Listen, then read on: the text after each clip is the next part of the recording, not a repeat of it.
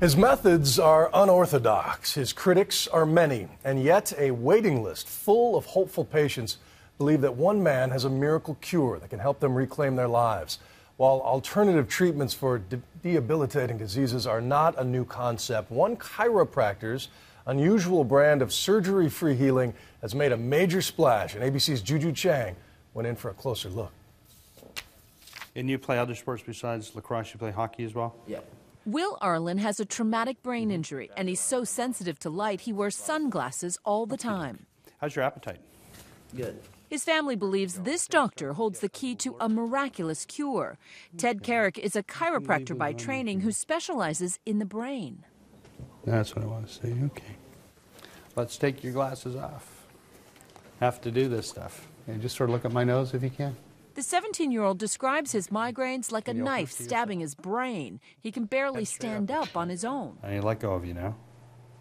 and he has trouble moving his left arm. Let's have you just come up and just walk over to that platform and then come back here. Just walk as you would normally. It all started with a vicious hit during a lacrosse game. The severe concussion sent him into an eight month tailspin. Tell me what the downward spiral was like. Will's a pretty active kid, straight A student normally, and outgoing and all that. They had to pull him out of school again a couple weeks ago. It's here at Life University in Marietta, Georgia, that Carrick is a pioneer in a field known as chiropractic neurology, a treatment he's been perfecting for 33 years.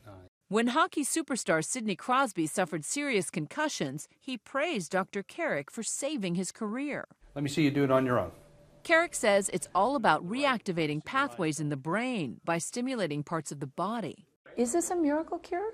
Well, I think miracles are things that only happen once in a while. And what we find is that the miracles that we see, we're seeing them frequently, every day.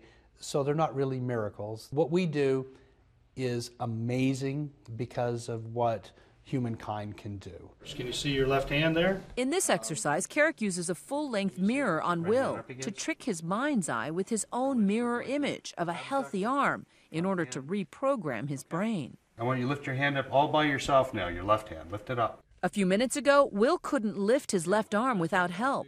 But now, this. For Will, it's Lift huge. Lift- Okay, good man. But the big gun in Carrick's arsenal is this machine, which looks like it belongs to NASA. Looking good. Carrick says the gyrostim helps stimulate parts of the brain that may be damaged. I realize what I noticed is like my breathing feels like it's not as shallow anymore. Good. You're starting to breathe better. Were you skeptical? What What did you think coming in? Uh, I'm very skeptical, but uh, the thing that really sold me was the first day we were here is watching the passion in Dr. Carrick's eyes. He's got a big heart. That's way.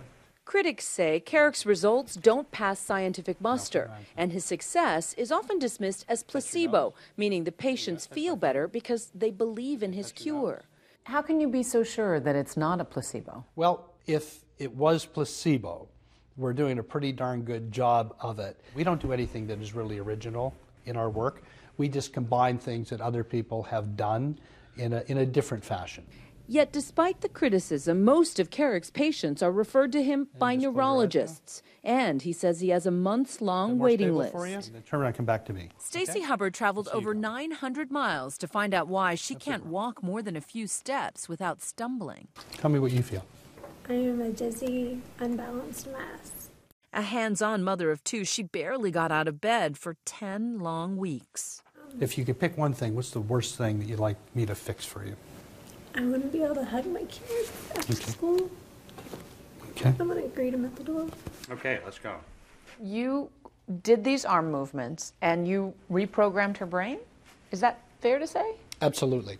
And it happens very, very quickly. I look very, very carefully at what's happening with her eyes, with her head, the degree that her pupils are open or closed, uh, and then her ability to track. And we find that if we do a certain motion and we get a different tracking, we say this is going to have a good probability of working. Stupid floor. this is my problem today. Over time, Stacy conquers her biggest enemy, the pattern on the hall carpet. I think I got this hallway today. Yes. I totally did it. And I'm excited. It's day three for Will. I've been happy since yesterday for the first time in a while, so I mean, it feels good to definitely have someone who knows what they're doing Is that why I don't have the feeling in the, my left side? Yeah, I mean it's you know it's pretty significant so that if your brain doesn't know where your hand is, it doesn't control it. For Will, just doing that with his fingers is the first glimmer of hope. Nice, eh? Oh my god. Okay, okay. Let me see you walk, swing your arms like a soldier. And he's even able to swing his left arm. That's huge, Will. It's huge. It's a lot looser up there. Yeah, it's huge. It's huge. It's huge. Okay, show me off. Go, go, go. On average, the week-long therapy costs $5,000. For Stacy, it's worth every penny. When she gets home from the clinic, she's finally able to hug her kids on her own two feet.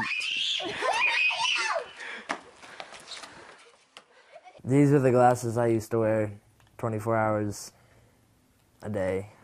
And Will, who couldn't tolerate any light, is now able to get around without sunglasses. Never mind concussions. How can we save his hair? No longer on the sidelines, Will is slowly getting back in the game. It feels good to be back on the ice. I'm Juju Chang for Nightline in Marietta, Georgia.